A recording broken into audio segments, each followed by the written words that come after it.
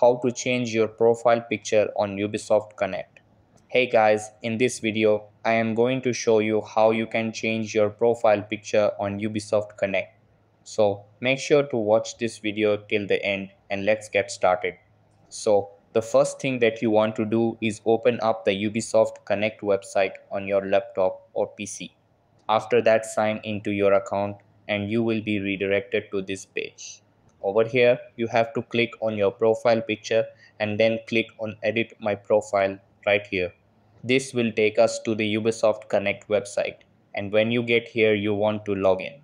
Once you log in you want to go over and click on your profile picture and from here you can change your profile pic in two different ways.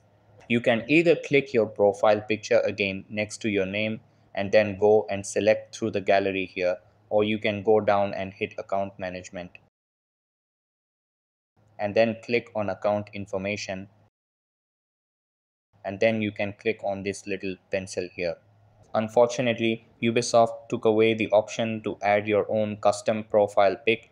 I think because, you know, a couple people made some inappropriate ones. So unfortunately, you just have to choose from their gallery.